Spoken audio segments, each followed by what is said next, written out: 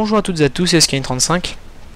Nous sommes sur Fly Simulator dans un Cessna 172 Skyhawk 2, le Cessna de base euh, de Fly Simulator, euh, sur l'aérodrome de Logne, LFPL, en région parisienne évidemment, en France. Euh, un des plus grands aérodromes, enfin un des plus fréquentés aérodromes d'aviation légère de France. Un, un aérodrome contrôlé, un contrôle au sol, un ATIS, euh, et voilà quoi, c'est.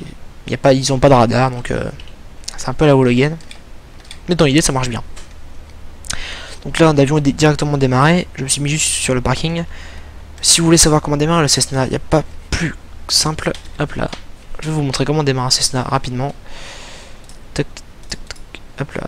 On coupe tout comme si euh, quelqu'un l'avait vraiment éteint. Allez. Non, c'est bon. Donc voilà, là, en gros, on, comme s'il avait été éteint le Cessna, hein, il y a tout est éteint. Voilà. Un Cessna éteint, ça ressemble à ça. Oh, oh mon dieu.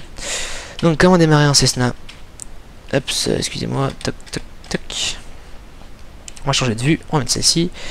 Pour démarrer un Cessna, on euh, met déjà euh, le master sur on, la batterie sur on. On va mettre euh, le beacon, la pompe. Euh, on va directement activer toutes les lumières, comme ça sera fait. Euh, taxi pas peine. Et donc là, et bah, on met plein riche. On met à un quart environ la manette des gaz. Voilà. Et ensuite, par magie du Saint-Esprit, on tourne la clé. Sur Start. Et voilà, moteur démarré. C'est simple. Ensuite, on met l'alternateur pour recharger les batteries.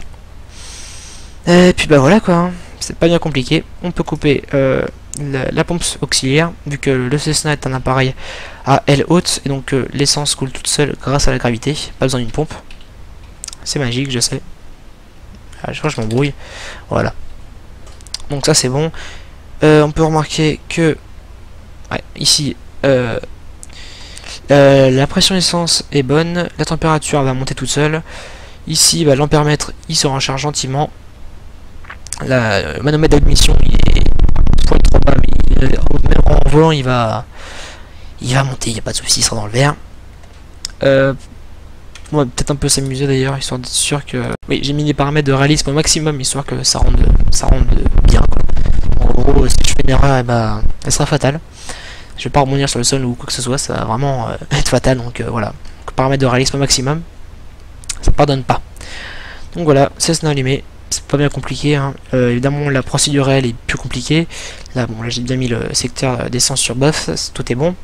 On fera laisser moteur un peu plus tard. Si vous voulez faire la procédure complète de l'avion, vous allez dans appareil, tablette, checklist, et vous descendez, vous avez la checklist complète de l'avion. Euh, c'est pas la checklist réelle, elle est un peu différente de la checklist réelle, mais ça ressemble à peu près à ça.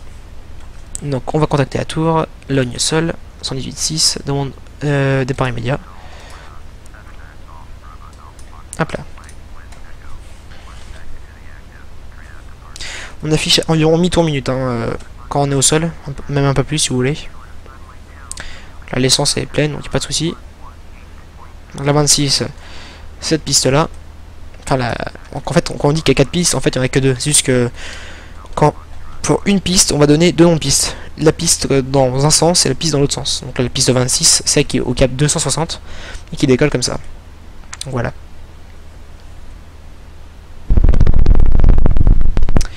Demander l'autorisation de décollage je vais faire, on fera ça juste après. Malheureusement, un des problèmes de Fly Simulator, c'est que quand on affiche la carte, euh, enfin, même un problème des. Enfin, c'est pas Fly Simulator, c'est généralement des logiciels de capture vidéo. Mon logiciel de capture vidéo va pas enregistrer euh, ce qui va se passer, il va arrêter l'enregistrement. Donc, pour savoir où est-ce qu'on va aller, vous allez dans Environnement, Carte, et je, je vous prends un screenshot, écoutez, et je vais vous montrer euh, où est-ce qu'on va aller. Je vous, commente euh, l'image euh, en direct. Donc voilà, on va donc à Coulommiers, c'est à l'est, hein, enfin, ouais, c'est à l'est, c'est là-bas, à peu près, Coulommiers. Euh, on, va, naviguer grâce à une balise VOR et DME, donc on aura une information sur un, cap à suivre et sur une distance grâce à la, au DME. Sachant que parfois il y a juste un DME, et parfois il y a juste un VOR. Voilà. Donc on va rentrer de la fréquence maintenant dans le matériel. qui écrit navigation 1 et navigation 2, qui correspond donc à ces deux instruments-là. Donc on va utiliser l'instrument euh, au-dessus, donc le, le VOR. On va donc afficher 112 90. Voilà. On la passe en fréquence active et le temps stand-by. Donc voilà. Il nous affiche qu'on est derrière et euh, qu'on est à gauche de la position. Sauf que cet élément n'est pas gyroscopique. En gros, il ne, il ne prend pas en compte comme euh, le, le cap, il nous, enfin comme le compas par exemple, qui est ici, il nous dit pas où est-ce qu'on où est-ce que pointe l'avion. Il nous donne juste une position. Par exemple, si on voulait savoir où est-ce qu'on en est, nous, il faut qu'on qu'on va devoir le faire manuellement. Donc hop, plein ouest. Voilà. Donc là, il nous dit que on est, on est en fait, euh, euh, avec cette flèche, on dit en fait qu'on est euh, derrière et qu'on n'est pas du tout aligné. Enfin, pas du tout. On n'est pas aligné. En gros, ça faudra prendre un cap ouest presque et euh, vers une, euh, un cap 06. Donc euh, ça va aller en théorie, ça va pas être bien compliqué. Donc, eh bien écoutez, euh, on fait le petit roulage. Bon, pour info ici c'est un parking, hein, même si ça n'a pas l'air. C'est le parking de de de, le, de la comment s'appelle? De l'école de pilotage de laquelle euh, je, fais mes cours. Donc c'est le bâtiment qu'on vient juste de passer là. C'est mon école de pilotage qui est ici. Pour ceux qui voulaient euh, se poser la question. Je ne leur fais pas de pub, hein, mais c'est juste que je vous le dis. Pour ceux qui me demanderaient, c'est euh, aéropilote. Donc euh, voilà, il y a un tas d'autres écoles. Nous on a pris celle-ci parce que c'est la plus proche. Donc voilà. Et non, je suis pas riche pour, pour voler. C'est juste que parfois, bah voilà, c'est une passion et il y, y a des sacrifices. Hein. Mon job d'été, ça va être euh, de travailler pour euh, me payer euh, ma formation et non de travailler pour mon petit bonheur. Et oui, c'est dur la vie. Mais bon. Petit roulage. Oui, bon, pour info, pour ceux qui ne sauraient pas, je pilote dans la vraie vie. Hein, je fais une formation. Et c'est la classe. Mais je me- je m'en vante pas. hein. Mais voilà, quoi, c'est quand même... c'est- comme génial. Alors, nous voici au point d'arrêt. On freine, on met le frein parking. Cloc. On faire quelques petits essais moteurs. On met... Ah, je vais dézoomer pour voir le régime. 1000 1800 tours minute. On fait quelques petits essais moteurs. Alors, ici, on PR 100 tours, c'est bon. J'achète les magnétos, hein. tout est bon. On met sur bof. Est bon, toc toc toc, ok, voilà, je vais pas faire le reste. On peut mettre 1000 tours. On voit bien que la pression est bonne, la température est bonne, l'essence est bon. On est plein riche, on met 10 degrés au, au volet, donc ils sont en train de descendre là. Voilà. Puis voilà, on est pas au décollage. À chaque fois, je me fais avoir. Voilà. Dans mon autorisation de décollage. On a dit que c'est un vol VFR, on a un peu menti. En fait, c'est pas vraiment un vol VFR. On a des beaux moteurs.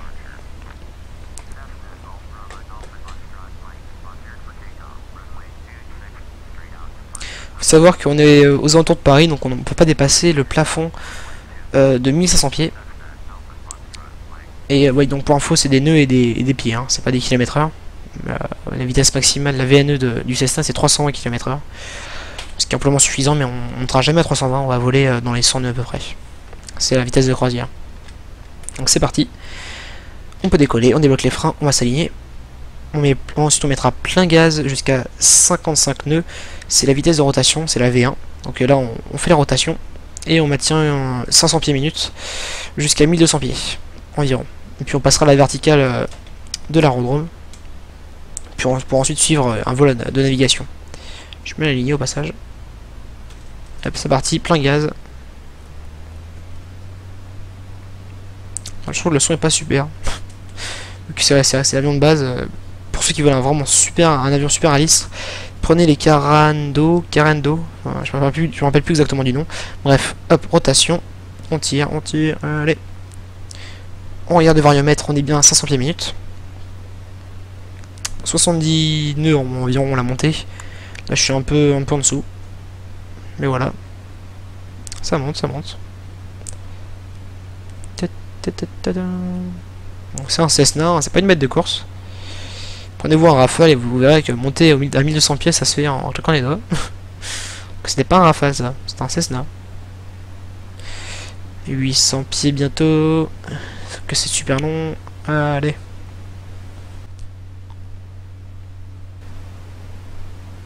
« 800 pieds. On va continuer à monter. Pendant ce temps-là, on va passer à la verticale du terrain. On synchronise évidemment le palonnier et euh, les mouvements qu'on fait euh, aux, manches. Vous pouvez voir que la bille est parfaitement centrée grâce au mélange du palonnier et, euh, et plus simplement des commandes. Ce qui permet d'avoir un vol symétrique, c'est-à-dire de voler parallèle au vent relatif. Et voilà. Hop là. Ah, j'ai l'impression que cette bille en fait ne bouge pas. Qui est fort dommage. Est-ce que en 2D elle bouge? Je regarde deux secondes. Ah, en 2D elle bouge pas. C'est vraiment nul. Bon bah tant pis. On pourra pas savoir sur un vol symétrique.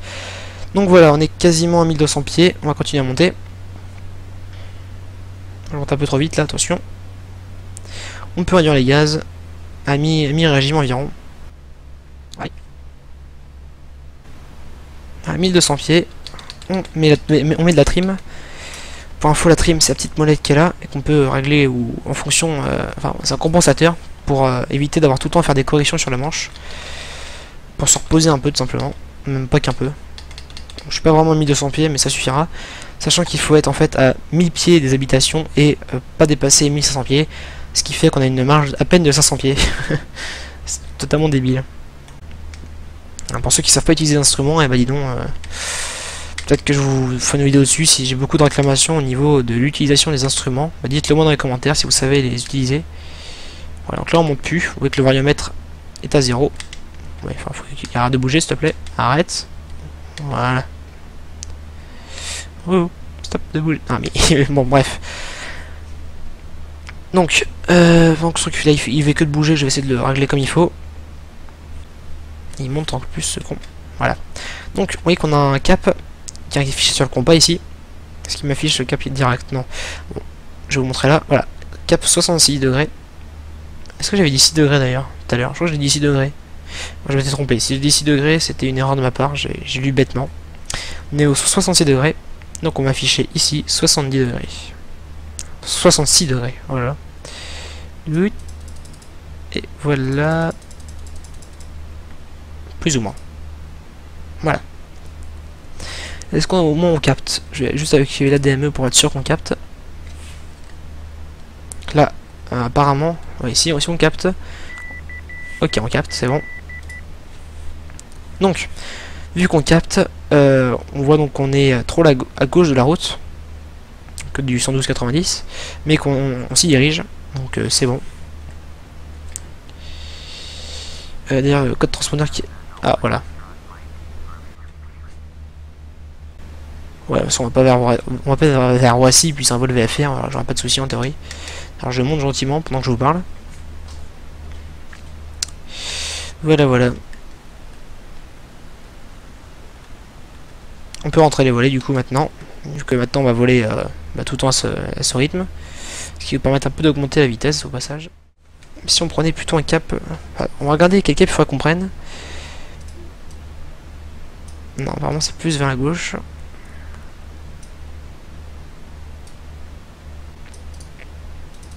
Plein est, ok. On prend cap plein est. Ça, je vois qu'il y a un avion juste au-dessus là. Sûrement en direction de Orly ou de Roissy. Voilà, plein est. Et hop là, voilà. Donc là, on est pile en direction de l'aérodrome. Bon, on voit à peu près droit, c'est bon. Puis on va se mettre un petit euh, automatique, vous savez quoi. On est des feignasses. Alors. Allez. Tu me mets 1500 pieds. Euh, altitude et APP. Et là, est-ce que ça vole tout seul Ou est-ce qu'il monte tout seul ah, J'ai aucune action encore dessus, moi. C'est qu'il monte tout seul, non Non, non, il se, il débrouille. Ah, j'ai mis 1500, oui, tu m'étonnes. 1300, ok, c'est bon. Sans pilote automatique, on sera plus dérangé. Donc, on va maintenant, depuis tout à l'heure de le faire, mais bon, là on va optimiser euh, la richesse du moteur. Donc, on va prendre la vue 2D, beaucoup plus simple pour nous. Donc là, on a le, le GT, donc c'est la température de sortie du gaz d'échappement. Et on va réduire légèrement la commande de richesse pour que le GT monte. Et quand le GT commence à redescendre, on remet un peu de mixture pour être pile au meilleur rendement moteur. Donc on réduit. Il monte, hein, vous avez vu? Il redescend, donc on met là. Là, on est au meilleur rendement moteur possible. On est quoi? Il n'y a pas écrit les pourcentages. Bon, bah. En tout cas, on est bon. Donc voilà, pilote automatique. Donc on va à 1300 pieds exactement. Le VOR dit qu'on est à peu près bien aligné. Pour être bien aligné, il faut qu'on prenne un cap au... Ouais, il faut qu'on décale un tout petit peu. Donc on va gentiment décaler. Attendez, hop là. Allez. Ah, j'ai plus d'action du coup. Et bah oui. Vous savez quoi, à la limite, hein. pilote totalement automatique. On est des feignasses. Non, combien est-ce que je vois l'aérodrome d'ici, moi? Toujours pas. Il devrait être pas loin, hein. Hop là, HDG. Ça, j'aurai la paix. Ah, c'est pour les feignasses, HDG, hein, mais... ça, je suis aligné sur les caps que j'ai envie de suivre, sur l'altitude. J'ai juste la vitesse que j'ai pas encore mise, je suis à 100 nœuds, donc euh, tout va bien. Je suis à la vitesse de croisière. Ouais, 2600 tours minute. Ah, non, même pas. Je vais encore augmenter un peu. Ça ira plus vite, allez.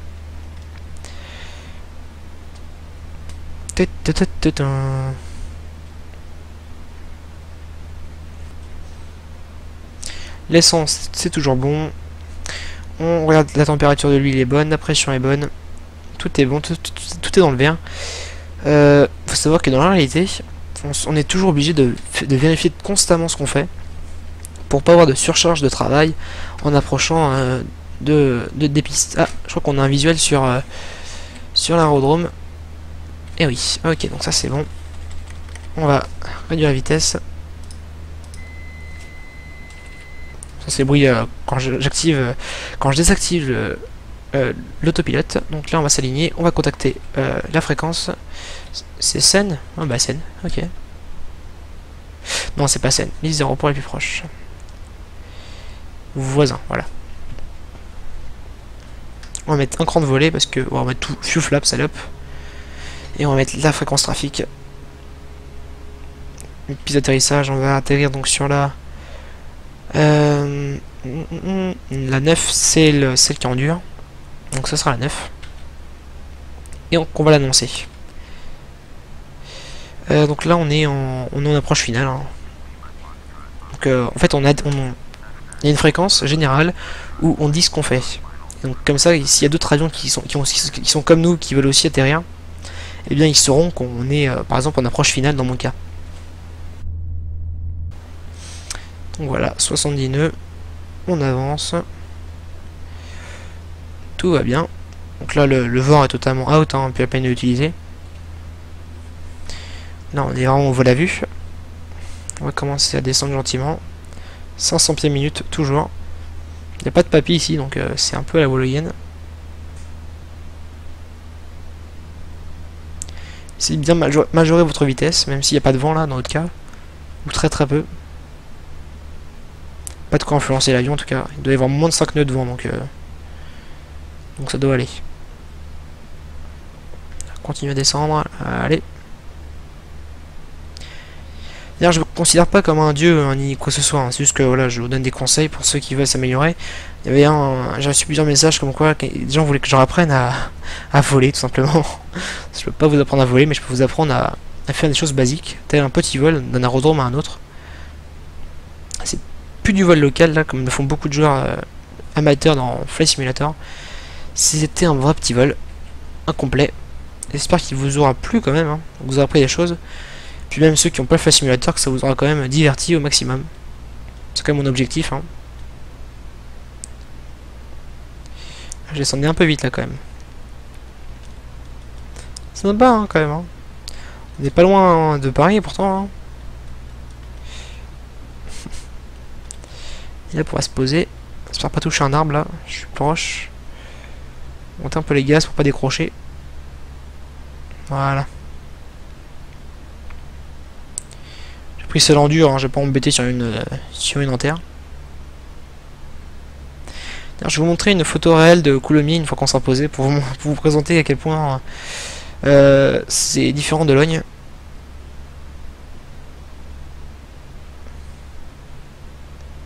Hop. Allez. Hop, j'ai touché. Voilà.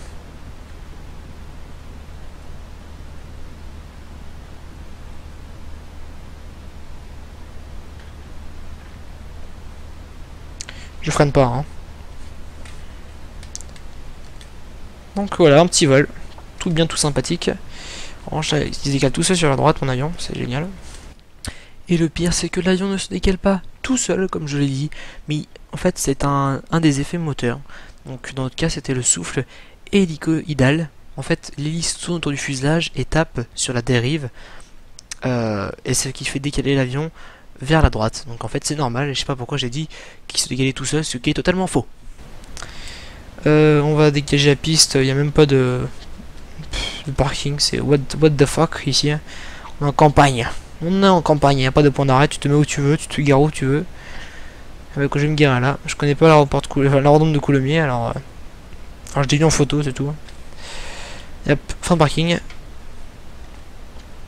Et c'est empaqueté et ensuite, comment on raté un avion C'est pas qu'une voiture, on tourne pas la clé. Pour arrêter un avion, on coupe les richesses. Donc le frein parking, on met des gaz pour décrasser les moteurs. Ah, vous avez vu, je mets des gaz à, mi-régime. Et je tiens. Au max. Voilà.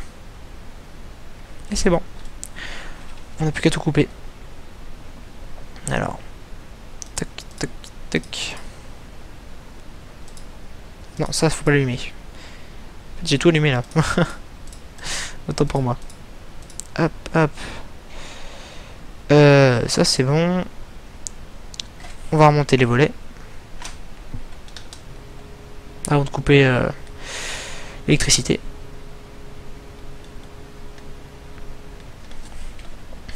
Et fini. On met la clé sur off, évidemment. Donc la maïton ne s'utilise plus. Et on coupe la batterie. Et on met ça sur on, off. Voilà. Tout est fait. L'avion ne vole plus. Et euh, on peut, l'approcher sans risque d'avoir un départ d'hélice par exemple. Ce qui est relativement dangereux évidemment. Et voilà. Très très franchement j'espère que ça vous aura vraiment plu. Euh, que vous aurez appris des choses intéressantes. Et puis on se retrouve pour de futures vidéos sur Flight Simulator ou d'autres euh, jeux. D'autres choses, je sais pas. Sachant que j'ai un gros projet en travail actuellement évidemment. Euh, Gabriel, on, on prépare un gros truc et si ça se trouve, ça pourrait marcher. Enfin, moi, je l'espère bien. Voilà. Allez, à la prochaine. Bye tout le monde.